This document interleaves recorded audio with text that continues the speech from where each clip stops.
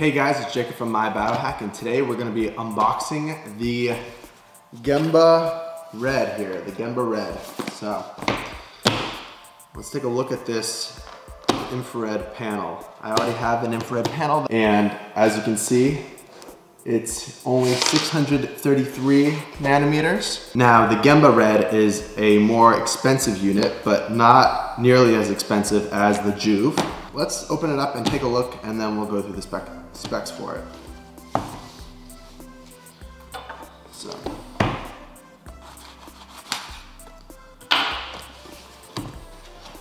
Upon opening it.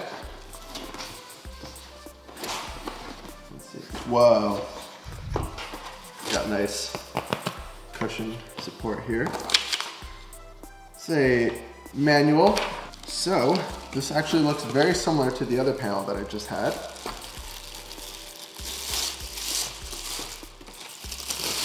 Has a little bit of off-gassing smell if you're chemically sensitive.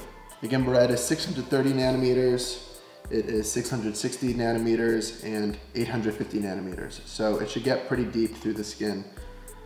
Uh, it looks like the same size as this panel. I'm gonna set them up in a second next to each other.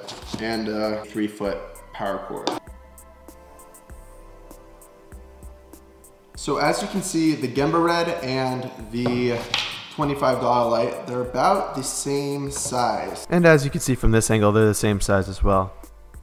Apart from getting light directly from the sun, it seems like a pretty good option to use on a rainy or cloudy day. So here's a nice example of me being skinny fat. I've got the Gemba Red on my back, bright light device in my sight, and it's a cloudy day outside.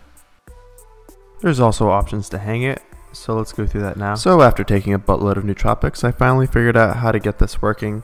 To hang it up, you put this bolt on here, and then you screw it in like this. And once you have the screw in, you can hang it up there like that. This is what I do. And compared to the other light, it looks like this.